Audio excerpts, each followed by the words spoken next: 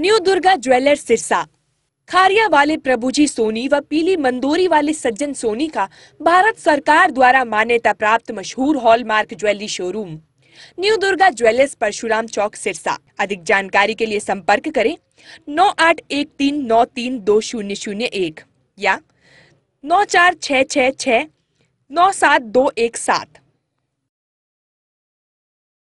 नमस्कार, स्वागत आपका के हरियाणा पे। मैं हूँ आपके साथ रमेश जाखड़। कहते हैं कि भगवान जब देता है तो छप्पर फाड़ के देता है, और अगर नहीं देता तो मुँह में लिया हुआ निवाला जो है वो छीन लेता है। अब छप्पर फाड़ के तो मुझे नहीं लगता कि इन पिछले दो तीन सालों के अंदर दिया हो, लेकिन छीन ज़रूर लिया है। इससे पीछे की अगर फ़सलों की बात करें तो वो भी खराब हो गई थी। लेकिन वो प्राकृतिक आपदा के कारण नहीं, गुलाबी सुंडी के कारण या बीमारियों के कारण जो वो खराब हुई थी। लेकिन इस बार जो अभी पीछे एक दो दिन पहले जो ओलावृष्टि हुई, उसने जो है, उसमें हम कह सकते हैं कि भगवान ने किसान के मुँह में दिया हुआ निवाला जो है वो वापस छीन लिया है। अब ये बात मैं आपको क्यों कह रहा हूँ? वो बात ये कह रहा हूँ कि ये सरसों देखिएगा किसान ने सोचा होगा कि अब तो सरसों पक गई है और अब इसकी कटाई भी कर दी है। एक दो दिन में जो है वो इसके निकलवा करके सरसों जो है कटाई करवा करके और उसके बाद बाज़ार में बेचने जाएँगे और जो अपने बच्चों के अरमान हैं, उनको कुछ ना कुछ पूरा जो है वो किया जाएगा। अब लेकिन कुदरत का ऐसी जो वो कहर बरपाया गया, कुदरत ने ऐसा कहर बरपाया कि ये कटी कटाई फ़सल जो है जिसमें कि एक या दो दिन लगने थे छः महीने तक इंतज़ार करने के बाद एक या दो दिन जो है वो भगवान से इंतज़ार नहीं हुआ और ये कटी कटाई फ़सल जो है वो बर्बाद हो गई। अब यहाँ पे ये देखिएगा, ये सरसों आपको दिखाई ज़रूर दे रही होगी, लेकिन थोड़ा सा क्लोज करके दिखाना चाहूँ तो ये पत्तों को देखिएगा, इसके अंदर जो फलियाँ लगी हुई हैं, इनमें जो है वो दाना बिल्कुल भी नहीं है।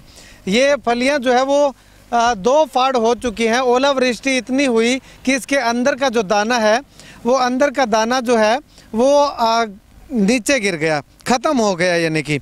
अब अगर ये तस्वीरें देखिएगा लगातार, अब उसके बाद मैं आपको ये तस्वीर दिखाना चाहूँगा। ये देखिएगा। ये तस्वीर है, ये दाना जो है वो सरसों का, वो नीचे जो है वो गिरा हुआ दिखाई दे रहा है। अब ये किसान जो है वो कैसे इसको, दाने को जो है वो संभालेगा? अगर इसको बाहर झाड़ के अगर कुछ इकट्ठा भी कर लिया तो वो तमाम अरमान जो है वो किसान के पूरे नहीं होंगे। इसका बीज बीज का खर्चा या जो खर्चा लगा है, वो भी जो है वो नहीं होगा। और पहली बात तो ये पॉसिबल ही नहीं है कि पूरे खेत से जो है वो इस तरह से दाने को बाहर करके इसको इकट्ठा करके जो है वो इकट्ठा किया जाए। जाए और बेचा जाए। ये ऐसे किसान से भी बातचीत करेंगे। ये सरसों पे देखिएगा और उसके बाद मैं आपको जो है वो अलग अलग क्षेत्रों की जो है वो तस्वीरें दिखाऊँगा। एक ये देखिएगा, ये तस्वीर देखिएगा, ये कुछ एक इकट्ठा किया है पौधा जो है, उसमें देखिएगा, दाना कहीं भी आपको दिखाई नहीं दे रहा होगा। अब इस तरफ़ मैं आपको चारों तरफ़ जो है वो कैमरा पैन करके जो वो दिखाना चाहूँगा, जहाँ तक आपकी नज़र जा रही है। ये देखिएगा, थोड़ा ऊपर कैमरा करके और वाइड फ्रेम में मैं आपको दिखाना चाहूँ तो जहाँ तक आपकी नज़र जा रही है है वहाँ तक फ़सल जो है वो फ़सल की बर्बादी बर्बादी हमें नज़र आ रही है। किसान से जानेंगे कि कितने एकड़ में सरसों बोई हुई थी कितने एकड़ में गेहूँ था कितना नुकसान जो है वो हुआ है। अब यूँ मान के चले कि नुकसान जो है वो सौ प्रतिशत हो चुका है तो कुछ गलत ना होगा। आ, किसान मेरे साथ मौजूद हैं। भाई साहब आपका खेत है हाँ जी। कितने सरसों कितने एकड़ में आठ एकड़ में थी जी।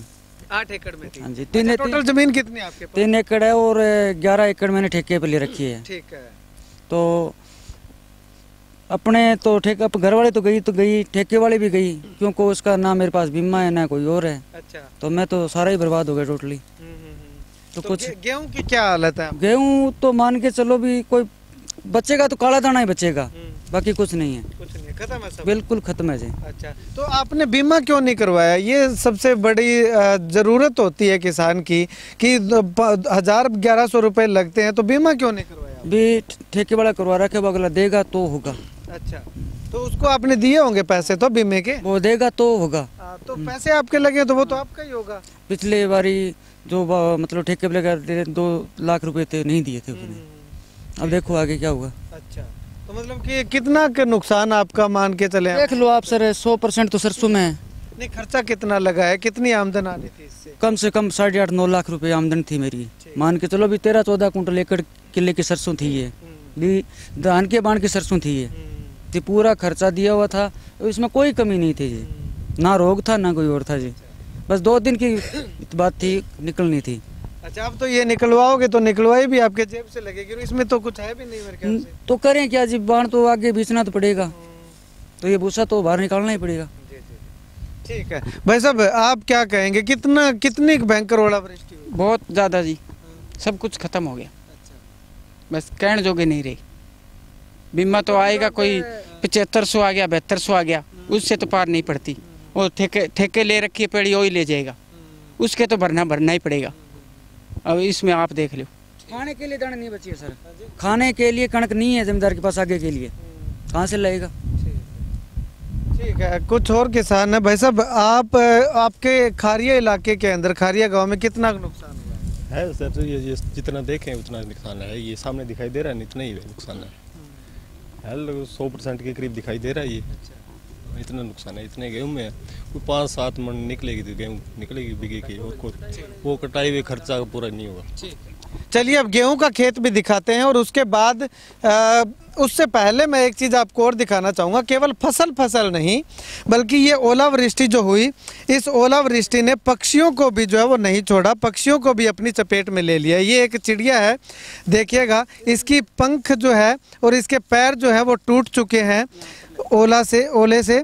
ये देखिएगा यहाँ पे इसके जो है वो अ, एक, अगर यूँ कहें कि बर्फ़ की जो ओला इसको हम कह सकते हैं, वो लगी है और उसके बाद ये जो है, पक्षी जो है, ये उड़ नहीं पा रहा है, ना चल पा रहा है। ये किसान जो है, इसको जब से देखा है, तब से जो है, वो अपने हाथ में लिए, इसकी सेवा कर रहा है, अपने घर में रखी हुई थी और अब जो है, वो इसकी सेवा कर रहा है ताकि इसका इलाज कर रहा है, ताकि ये उड़ने लायक जो है, वो हो जाए। केवल ये एक नहीं, बल्कि अनेकों ऐसे पक्षी हैं जिनको जो है, वो इस कुदरत ने अपनी चपेट में ले लिया है। जैसे करके इसको इकट्ठा करके किसान ने यहाँ पे इकट्ठा किया है। और ये यहाँ पे देखिएगा, यहाँ पे मिट्टी जो है वो आपको ज़्यादा दिखाई दे रही है और सरसों जो है वो बहुत ही कम दिखाई दे रही है। अब ऐसे में कैसे किसान के जो है नुकसान की भरपाई जो है वो होगी? राम और राज दोनों ही जो है वो किसान से खफा दिखाई दे रहे हैं। खैर, अब राम से तो उम्मीद नहीं है क्योंकि अब तो आगे फ़सल बिजाई होगी, उसके बाद ही होगा। लेकिन राज से ज़रूर जो किसान जो है वो उम्मीद करेंगे कि कुछ इस नुकसान की भरपाई जो है वो कर दें। तो चलिए अब गेहूँ के खेत में मैं मौजूद हूँ। गेहूँ का खेत आपको दिखाता हूँ। सबसे पहले मैं आपको ये चारों तरफ़ जो है वो गेहूँ का खेत जो है वो दिखाना चाहूँगा। देखिएगा, जहाँ पे गेहूँ का पौधा जो है वो खड़ा होना चाहिए था, वो अब जो है वो लेटा हुआ दिखाई दे रहा है, सोया हुआ दिखाई दे रहा है। अब, इसमें कितना नुकसान होगा? अब इसकी कटाई अगर करेंगे तो कैसे करेंगे? ना तो कंबाइन से कटाई होगी, ना रिपर से कटाई होगी, इसके लिए भी हाथ से कटाई करनी होगी। और हाथ से कटाई करेंगे तो वो भी जो है वो कितनी फ़सल इसमें से कितनी पैदा जो है वो निकलेगी। केवल इंसानों और पक्षियों पे नहीं, बल्कि पशुओं पे भी कर, कुदरत ने कहर डाया ये पशुओं के खाने के लिए हरा चारा है। ये देखिएगा, थोड़ा जूम करके मैं आपको दिखाना चाहूँगा कि किस प्रकार से बीच के हिस्से से जो है वो ओलावृष्टि से ये टूट चुका है। ये केवल हरे चारे के अंदर नहीं, बल्कि गेहूँ की फ़सल में भी ऐसा ही देखने को मिल रहा है। ये मैं आपको इधर तस्वीर दिखाना चाहूँगा। कैमरा सहयोगी से गुजारिश करूँगा कि ये देखिएगा, ये जो पौधे हैं, ये देखिएगा, ये बीच से जो है वो टूट चुके हैं। ये सारे के सारे जो बिछी हुई है, ये बीच से टूटी हुई है या नीचे जड़ों से टूटी हुई है, ये देखिएगा, ये कुछ एक पौधे जो है वो आए हैं मेरे पास, ये देखिएगा, ये ऐसे टूट चुके हैं तो ये अब कैसे जो है आगे ये पकेंगे और कैसे जो है वो इसमें दाना जो है वो स्ट्रॉन्ग बनेगा।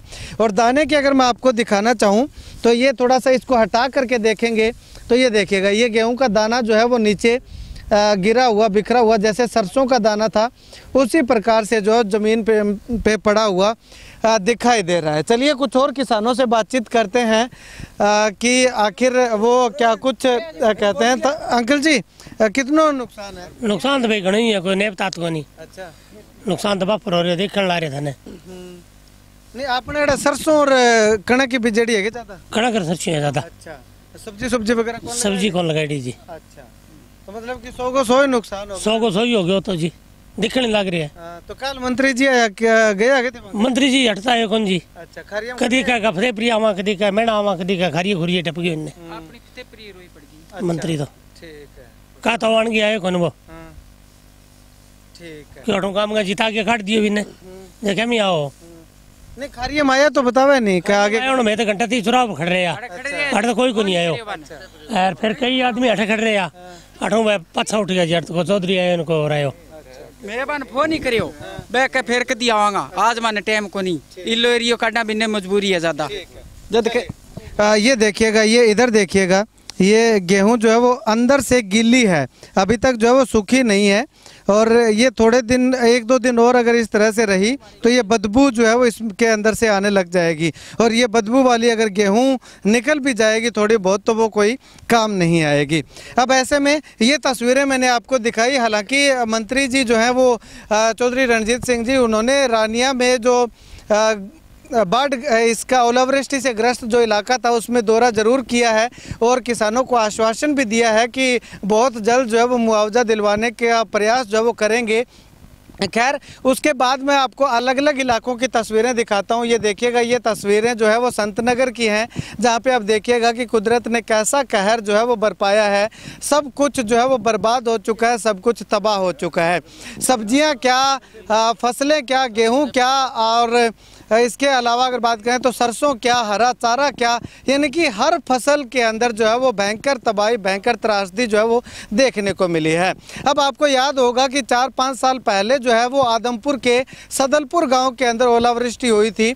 वहाँ पे जो है वो गेहूँ की जो बालियाँ थी, जो बाल जिसको बोलते हैं, वो जो है वो बिल्कुल छलनी कर दी थी। केवल पंखुड़ियाँ पंखुड़ियाँ रही थी, जो दाना जो है वो पूरा का पूरा ज़मीन पे गिरा दिया था। उसी तरह का कुछ मंजर जो है वो हमारे यहाँ इस इलाके के अंदर देखने को मिला है। अगर पूरे सिरसा जिला की अगर बात करें तो 50 के लगभग गाँव के अंदर अगर बात करें तो साठ हज़ार एकड़ फ़सल जो है वो लगा लगभग लगभग जो है वो बर्बाद हो चुकी है। अब किसानों को आस उम्मीद है तो केवल राज से है। राम ने तो उनकी उम्मीदों पे पानी फेर दिया। राज अब उनकी उम्मीदों पे कितना जो है वो खरा उतरता है। क्या जो है वो तस्वीरें सामने आती हैं? कितना मुआवजा, कितना बीमा क्लेम जो है वो इसका किसानों को मिल पाता है, वो आने वाला वक्त बताएगा। लेकिन फ़िलहाल किसानों की उम्मीदें की अगर बात करें तो किसानों का सरकार से उम्मीद यही है कि ज़्यादा ना, कुछ ना कुछ कंपनसेशन कुछ ना कुछ मुआवजा तो जो है वो सरकार इन्हें दे दे ताकि अगली फ़सल की बिजाई करने में इनको किसी तरह की कोई कठिनाई ना आए। खैर, आप इस वीडियो को लेकर के सिरसा जिला के अंदर अलग अलग इलाकों में हुई ओलावृष्टि को लेकर के कहाँ कितना नुकसान है, उसको लेकर के क्या कुछ कहना चाहेंगे, कमेंट सेक्शन में कमेंट करके ज़रूर बताइएगा।